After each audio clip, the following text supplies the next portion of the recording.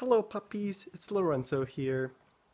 We're at my grandma's house in Italy and well, this is pretty cool.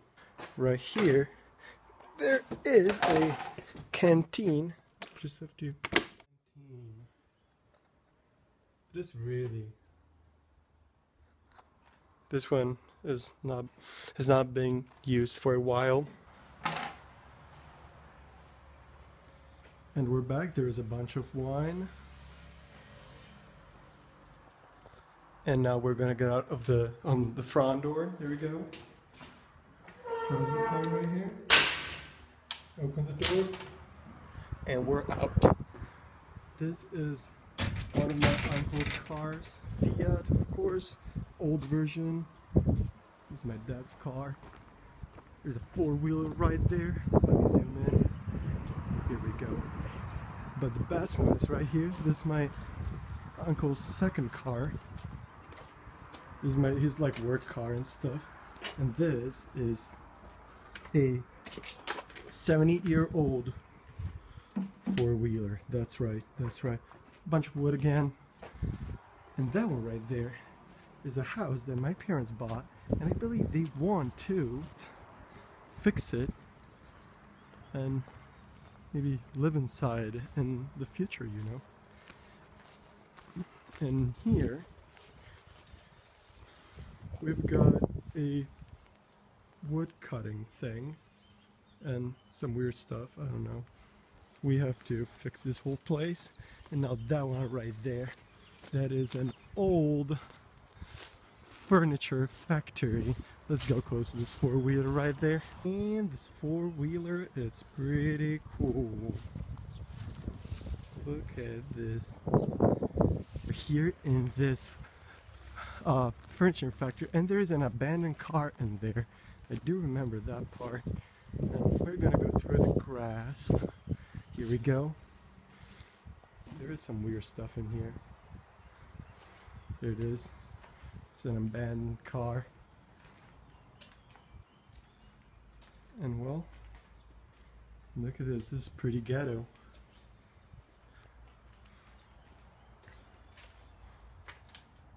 Inside, got a bunch of furniture. Or, unfortunately, this place uh, sort of failed, and and yeah, this place failed. So there's not much inside, and in the past days when this when this was up and running we would have the keys inside this place and they're not there anymore hmm.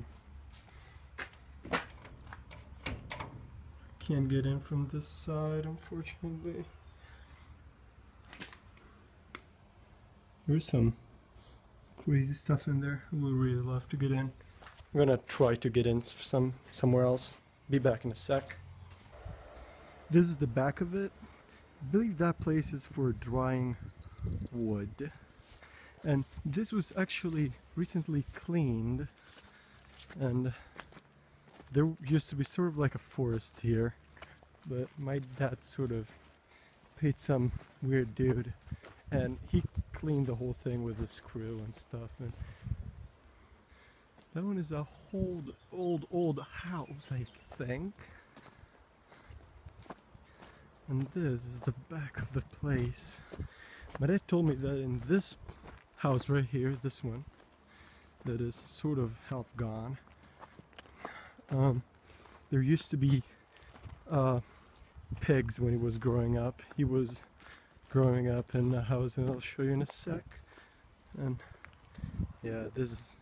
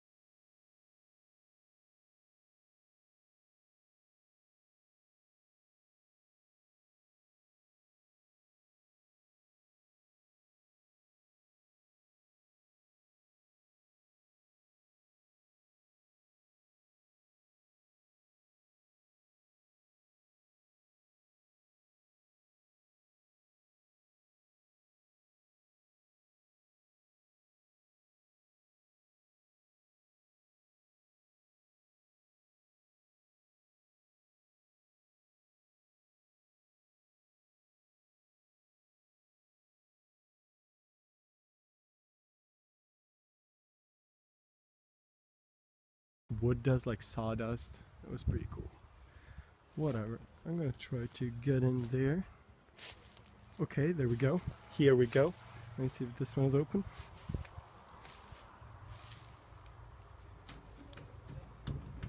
It ain't. Huh.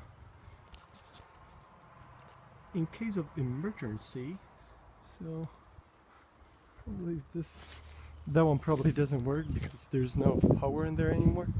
We cut it off because we didn't want to pay the bills for it. Alright, here we go. Here we go. Moment of the truth. Now, I broke that window when I was a kid. Yeah, I was pretty mean. So this is the back of the house my parents bought and they want to fix this whole mess. There is some really weird shit in there. As you can see right there, there is a, like, that one right there is like a dryer part, I believe. I don't know why it's there.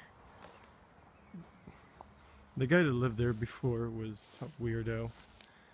But yeah, it'll they'll fix it and that part is ours also, but someone is still living there.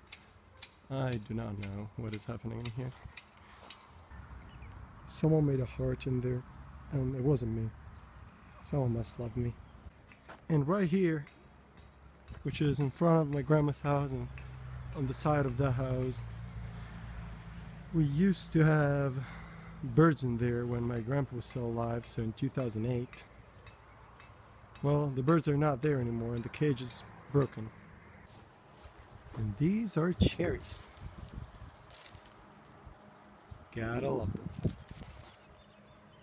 Mmm, yeah. Apricot? Mm-hmm. Alright. And I believe that's the whole thing from right here. Unless you want to see the fig plant right there.